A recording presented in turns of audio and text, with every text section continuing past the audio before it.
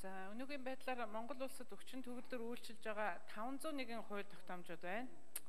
А 2020 он хүртэл бид нар нийтдээ нэг 270 орчим хууль тогтоомжуудыг одоо боловсруулж баталж гаргахаар одоо зорж байгаа мэдээлэл байгаа. За тэгэхээр хууль тогтоох дээд байгууллага болохынхаа хувьд бид бүхэн аливаа хуулийг батлахынхаа өмнө ялангуяа улсын их хурл анханаас нь маш нарийн судалж анхааралтай хандаж өнөөдрийн тулгамдсан асуудал мөн үгүй юу? Үндсэн хуульдаа харшлах уугүй юу? Хамгийн түрүүнд хүний эрх, ардчил бидний одоо зориг зөрчигдөхөөгүй гэдгээ маш анхааралтай судалж иж хууль тогтоомжоо гаргаж хэрэгжүүлж явах ёстой гэж бодогдож байна. За 2016 оны 2 дугаар сарын 15-ны өдөр иргэний процессын хуулийн зарим зүйл заалыг хүчингү болгосон байна. Ингэхдээ хүний эрхийг ялангуяа төрөөс хуулиар хамгаалуулах ёстой хүний эрхийг ноцтой зөрчсөн гэж үзэж байгаамаа. Ялангуяа үндсэн хуулийн 11-р 14-р зүйлийн 1-р хэсгийн хүн бүр хууль шүүхийн өмнө тэгшэрхтэй байх ёстой. 19-р зүйлийн 1-р хэсэг төрөөс хүний эрх чөлөөг хангах үс хууль зүйн баталгааг бүрдүүлэх ёстой Энэ үүргийг иргэнийхээ өмнө хариуцна. Одоо төр хариуцна. Гиснийг зөрчсөн байна гэж үзэж байгаа. А гэтэл энэ эрхийг бол энэ 2016 оны 2 дугаар сард гаргасан иргэний процессын тухай хуулиар улсын дээд шүүхийн нийт шүүгчдийн хуралдааны уг хуралдаанаар хэрэг хянан шийдвэрлэх тогтоолтой холбоотой журмуудыг хүчингү болгосон үндсэн хуулиар баталгаажсан хүний эрхийг зөрчсөн байна гэж үзэж байгаа юм л да. Үзсэн, үзэж байна. За ингээд өнгөрсөн жилд буюу 17 онд Улсын дэд шүүхийн нийт шүүгчдийн хуралдааны журмын талаар 17 оны 5 дугаар сарын 18-ны өдөр энийг нэмэлт болгож оруулсан.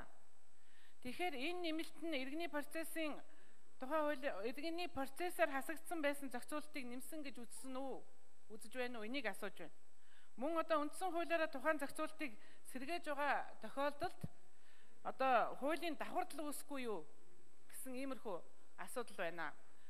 За мөн одоо бусад хууль дээр захиргааны хэргийг шүүн шийдвэрлэх хуулийн процессын тухай хууль дээр, эрүүгийн тухай хуулийн процессын тухай хууль дээр эдгээр заалтууд бол хിവэрэ үлдсэн мөртлөө иргэний тухай хууль дээр яагаад энэ заалтыг аваад хайчдаг юм бэ?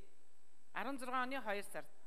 Тэгэхээр иргэний тухай хуулиуд дээр ямар хэрэгүүд хилцэгддэг вүлээ гэдэг энийг сонирхолтой байгаа юм л да. Дандаа үнийн дүн өндөртэй, эдийн засгийн одоо хашиг сонирхолтой иймэрхүү хэрэгүүд бол энэгээр явдаг.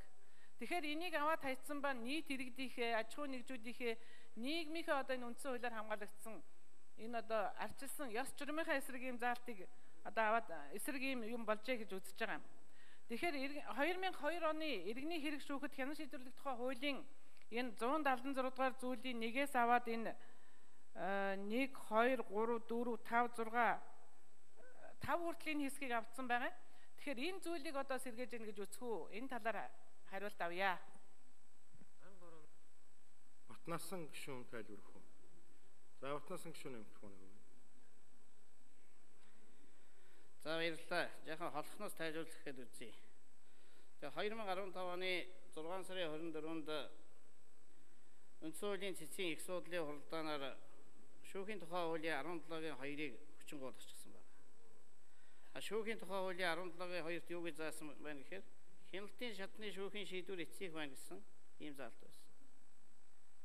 А одооны байгаа хуулийн хийдэл гэж хийдэл гэж үзэж байгаа 2016 оны цэцгийн 8 дугаар дүгнэлт гарсан. Улсын дээд шүүх хууль таршилсан шийдвэрээ ямар журмаар хүчингү болгохтой холбогдсон харилцааг зохицуулахтай холбоотой хуулийн заалт байхгүй болсон. Тэгэхээр энэ хийдлээ арилгаа гээд 2016 оны онд 8 дугаар дүгнэлтэд цэц бол гаргасан. За энэ хийдэл дээр нь энэ хийдлийг засаагүй байна гэж сая үндсэн хуулийн цэц үзээд зөрчил гэж үзээд маргаа үүсгэсэн. Тэгэхээр одоо яах вэ гэхээр захиргааны хэрэг хэн шийдвэрлэх тухай хууль, эрүүгийн хэрэг хэн шийдвэрлэх тухай хуульд бол улсын дээд шүүхийн дээд шүүхэд иргэн одоо гомдол гарах эрхтэй. А улсын дээд шүүхийн дээд шүүхтэд шүүхэд шүүгчд гомдол гаргасан тохиолдолд бол одоо нэгдсэн хуралдаан буюу нийт шүүгчдийн хуралдааныг улсын дээд шүүхийн шүүгч хэрвээ энэ үндэслэлтэй гэж үзвэл хийлгэнэ гэсэн ийм л зохицуулт байна. А энэ зүйл нь иргэний хэрэг хэн шийдвэрлэх тухай хуулийн дээр хоцрогдсон. За хууль зүйн байнгын ороо хуралдсан. Хууль зүйн байнгын ороо хуралдаад өөрийнхөө бүрэн эрхийн хүрээнд иргэний хэрэг шүүхэд хэн шийдвэрлэх тухай хуулийн эштрийг 176-гийн эштрийг 177 178-тай холбоотой заалтыг дахиж хуулийн төсөл нэмэлт өөрчлөлтөөр өргөн барьж зохицуулт хийх зүйтэй маа гэсэн ийм зүйлийг л ийм а, дүгнэлтийг бол гаргасан. Аа? Гарамжийн гүшүүнд 1 минут нэмж өгье. Тэгэхээр энд одоо үндсэн хуулиараа тухайн зохицуултыг сэргээж байгаа тохиолдолд хуулийн давхар л одоо үүсэхгүй юу гэдэг асуудлыг та нэг тодорхой хариулж өгөөч. Батнасан гүшүүн тодруулганд хариулт өгье.